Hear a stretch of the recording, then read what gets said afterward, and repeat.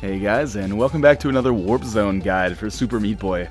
Today we're going to be tackling Chapter 4 Hell, and we're going to start on 4-8 Weeby. And uh, these Warp Zones are actually really, really difficult to get, as you'll see. Uh, very surprising if I get these on the first try. They're all quite difficult, and very hidden, so, you know, I don't blame you if you haven't gotten all these. So the one we're getting right here is actually up in the top right corner. So what you gotta do is uh, bounce off this wall and make some of those dissolving blocks go, and there you go. Oh, but the warp zone disappeared, so I'll just commit suicide and try again. So yeah, there's some dissolving blocks. You can't see the warp zone at all. You just have to dissolve the blocks, then jump up there and basically pray for the best. At least that's uh, that's the way it's worked for me in the past. So yeah, jump on this wall, make the blocks dissolve, and then just kind of keep hammering in that area, and there we go. Super Meat Boy. So this is the first warp zone, uh, first non-character warp zone in Hell anyway, on 4-8. This uh, warp zone actually took me a long time to beat. The first few levels are pretty easy, even as I just died right there. Or sorry, the first level itself is very easy, and the third level is pretty easy as well. But the second level, it took me forever to figure out the pattern that you need to jump. But, uh, you know, if you're having similar troubles, hopefully this video will help you out. So yeah, this one looks more daunting than it is.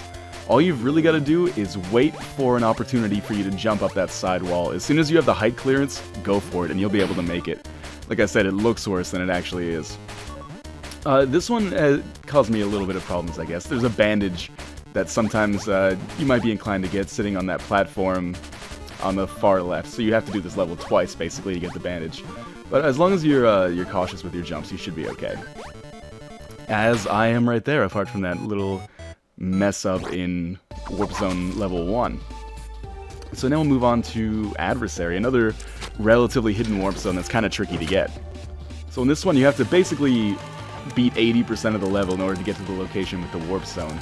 I'm not sure if you'll be able to see it, but it's kind of directly above the second laser. So just get past this first one here, make the transition to the second one, and as we're waiting at this right here, what you want to do is jump into that uh, I don't know, you call it a crawl space, and then just kind of keep jumping around again until you actually get the warp zone. So this is another four-color Super Meat Boy warp zone. Uh, that is actually pretty easy. For my money, this is uh, not a hard warp zone at all. Definitely the easy one in Hell. The easiest non-character one anyway, and I'll reiterate again, I'm saving the character ones for when I do the, uh, the character videos. So yeah, first level, just outrun the locks. Seen it a hundred times before, shouldn't present too much of a challenge. This one, again, uh, it's going to be very difficult for you to die on this. There's actually a bandage directly in the center of this level if you haven't gotten it. Uh, so the fact that you're able to get that without dying definitely means you can get all these keys without dying quite easily. This is probably the easiest Warp Zone individual level in the whole, uh, the entirety of Hell. Uh, this one requires a little bit of practice, I guess, but what you really want to do is time that second jump so you're just behind the saw, and then you can avoid the the horizontal saw that comes next. So that is two of the three non-character warp zones in Hell done. So we'll go to the Dark World and we'll head up to 47X Thistle. And this uh, warp zone is actually a huge pain in the ass to get. You need uh, someone who double jumps. Or I'm pretty sure you need someone who double jumps anyway. So if you can see it right now, the warp zone is on the bottom there, in between two of those saws that have a very, very slight gap, about one Ogmo wide for you to get through. And you can see I'm having a little bit of trouble, but I finally do it.